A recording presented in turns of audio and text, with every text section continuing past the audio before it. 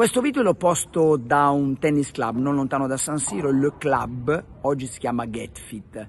Bei ricordi in questo, in questo tennis club perché c'era sempre tanti anni fa il torneo di tennis del Milan, organizzato come sempre da Mauro Tavola, sempre promotore di queste iniziative meravigliose, meravigliose che servivano da collante, c'erano i giocatori, veniva Serginio, Ganz, tanti giornalisti, tanti giocatori di tennis di buon livello, come me, diciamolo piano. E quindi respiro, qui c'è stata la festa dell'addio di Maldini, la festa per Leonardo, qui Beckham, ricordo dopo l'ultima partita a San Siro venne qui, lo salutai, si trovava bene, bei ricordi, ho, ho aperto una parentesi per, per, per diciamo, trasmettervi l'emozione di questa location elegante qui non lontano, qui ci sono delle case dietro di me, qui abitava Biro, venivo sempre qui per, o Boban, venivo qua per le interviste per guida il campionato la mattina della domenica dopo le partite e tanti giocatori hanno sempre vissuto, là più avanti c'era anche la, l'enclave nerazzurra, c'era Ronaldo, quindi un posto che sa molto di giocatori di squadre milanesi. Ma veniamo subito, veniamo subito al tema. Il tema, signori, oggi è Torino-Milan, arbitro doveri, signori Rati al VAR.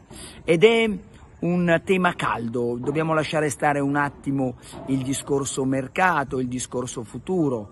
Nel prossimo video vi darò le ultime notizie di formazioni, ma ormai penso che non ci siano più dubbi, ehm, penso che non ci siano più dubbi, penso proprio che il Milan possa essere quello con Megnan, quello con Megnan, Calabria, Tomori, Callulù, Teo Hernandez che vorrebbe festeggiare con un gol. Speriamo che sia così fortunato come Shevchenko, nacque il figlio e segnò un gol contro la Sampdoria. Speriamo che possa dedicarsi una grande giornata dedicata poi a Teo Junior.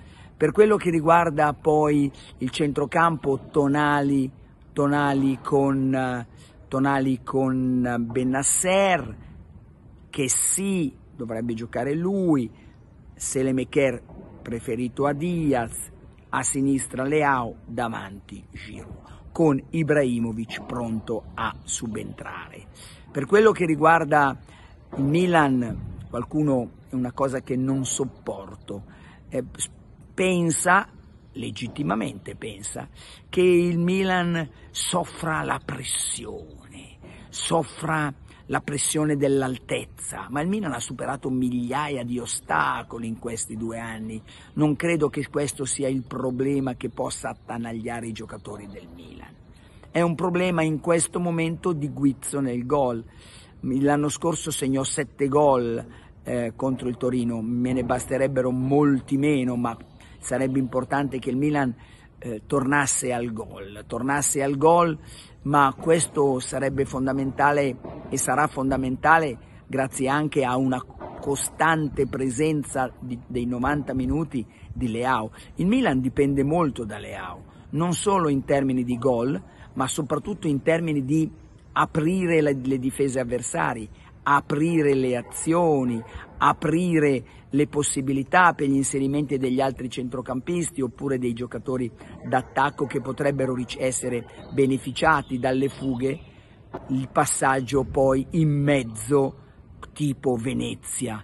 Speriamo che il Milan possa andare in vantaggio presto, eh, perché quando è andato in vantaggio presto nelle ultime partite, vedi Salerno, vedi Udine, poi non ha gestito.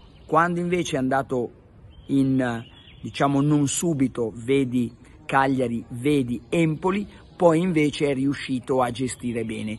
Deve trovare ancora gli equilibri dopo due anni. Eh, signore, gli equilibri sono fatti di tanti piccoli dettagli, di tante piccole condizioni di forma ed è, ed è per questo motivo che il Milan deve riuscire a equilibrare questa situazione. Ci ha lavorato Pioli, speriamo che il Milan sia ispirato, che abbia buone, dei buoni dei buoni palloni Giroud.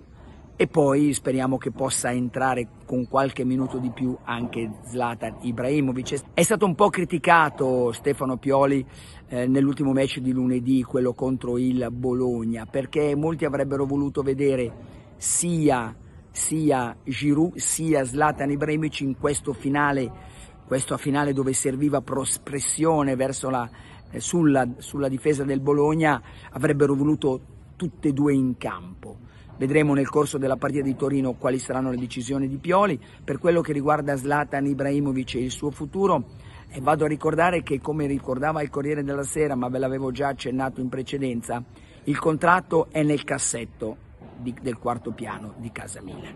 È un contratto, è un, un rinnovo di ingaggio, un rinnovo di contratto e un ingaggio intorno ai 2,5, 2 milioni e 5, però tutto dipende da come si sente Zlatan Ibrahimovic. Non credo che sarà il Milan a imporre una decisione a Zlatan Ibrahimovic o imporre la sua decisione a Zlatan Ibrahimovic. Sarà Zlatan Ibrahimovic che deciderà quale sarà il suo futuro in base alle sue condizioni di forma.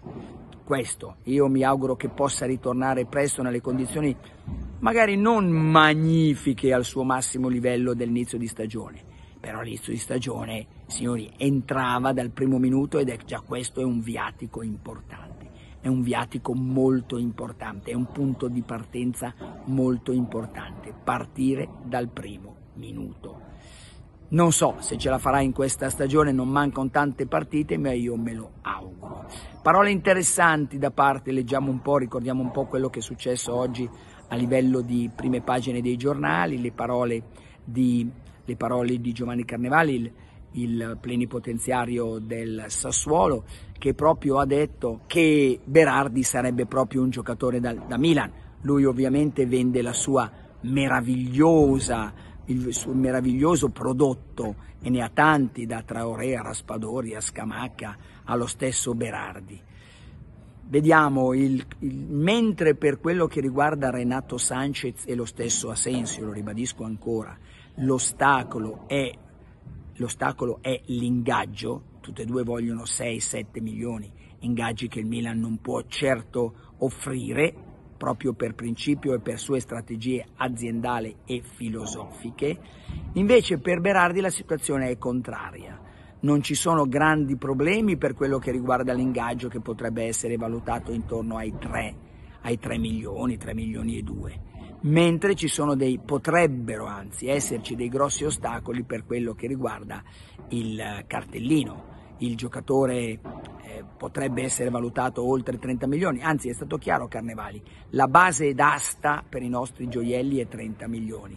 30 milioni non credo che il Milan li possa offrire a Berardi, si augura il Milan, parliamoci chiaro, di poter offrire un 20 più 5 se poi il Sassuolo deciderà di non accettare questa offerta, il Milan molto serenamente andrà su altri giocatori come è già capitato. La linea del Milan è molto molto chiara.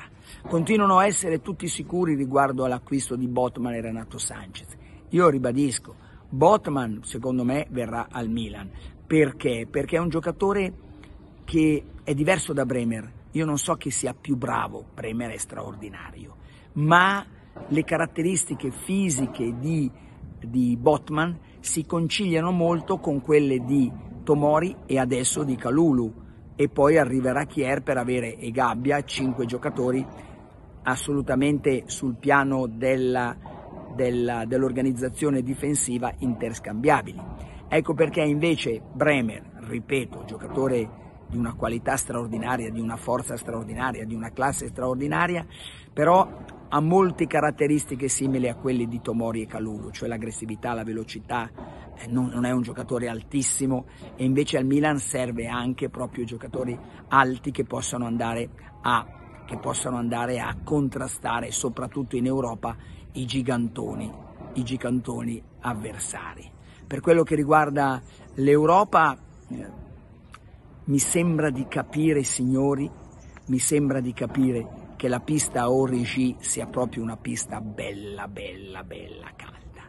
E ho letto proprio Milan News questa mattina e sono d'accordo con il 70% che approverebbe l'operazione.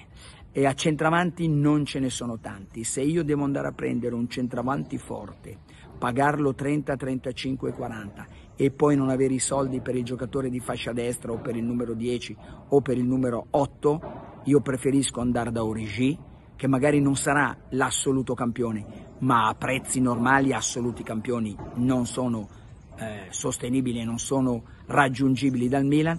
Io prendo un, un, un centravanti una, che si allena e gioca raramente in una squadra. Oggi abbiamo visto come ha vinto facile col Benfica, oggi la più in forma d'Europa, che si candida ancora noi tifosi del Milan egoisticamente speriamo di no perché potrebbe avvicinarsi troppo, addirittura raggiungere, non ricordo, il numero di vittorie. Vogliamo essere noi secondi con sette vittorie dietro in questo momento l'inavvicinabile Real Madrid. Quindi tifiamo a maggior ragione per Carletto proprio per una questione anche romantica di rimanere secondi in classifica nella, nella classifica delle, delle, squadre che hanno vinto la Champions League. Ebbene, Origi si allena con Klopp, si allena con questa intensità. Abbiamo visto che i giocatori che arrivano dalla, dall'Inghilterra fanno sempre la differenza, uno su tutti che giocava non tantissimo, anche Abraham, che è un giocatore di eccellente livello, di,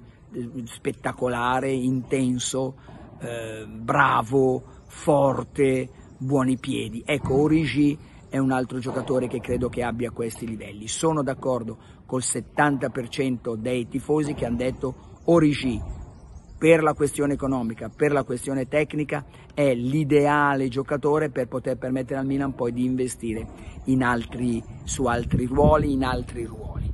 Se ricordo ancora che oggi è il primo giorno della della vendita delle mie video, delle mie audio esultanze o delle mie esultanze a livello di immagine la, andando sulla piattaforma, piattaforma Rarible e si può acquistare, quindi sono entrato in questo mondo NFT, io mi auguro che ci, sia, ci siano degli amatori del Milan e non di pellegatti, delle grandi imprese del Milan che io ho avuto la fortuna di raccontare via audio nelle radiocronache o nelle telecronache. Se vi è piaciuto questo video mettete il vostro like, iscrivetevi al canale YouTube di Carlo Pellegatti e attivate la campanella.